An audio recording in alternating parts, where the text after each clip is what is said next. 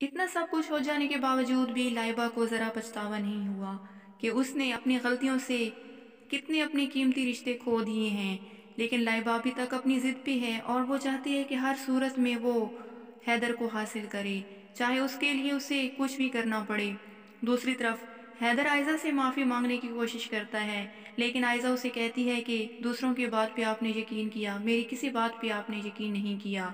और नाजरीन, देखा जाए तो लाइबा की खाला, जो लाइबा को अपनी बेटियों की तरह समझती थी।